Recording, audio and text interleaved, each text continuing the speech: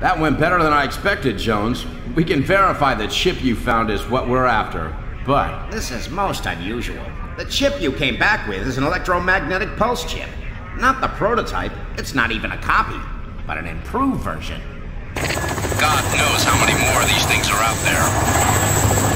Luckily, those research logs you found have given us a new lead. A convoy with a consignment of chips is heading for a military base near the Ukrainian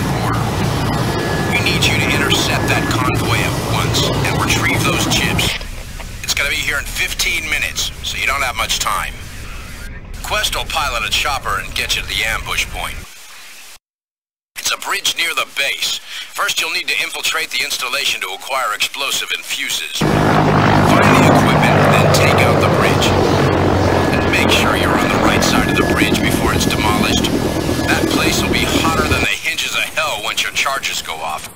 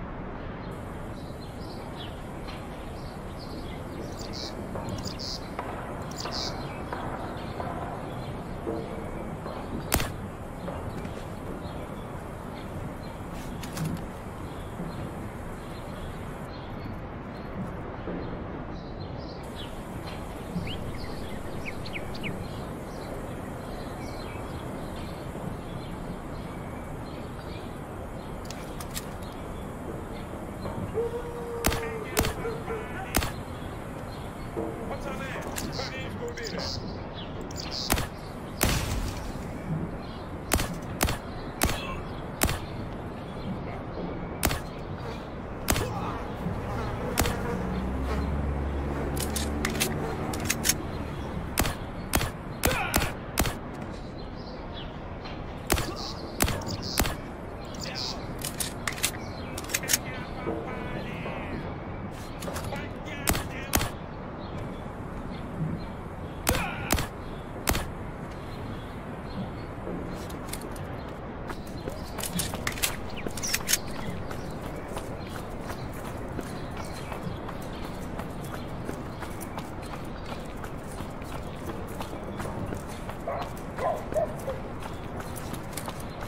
すいません。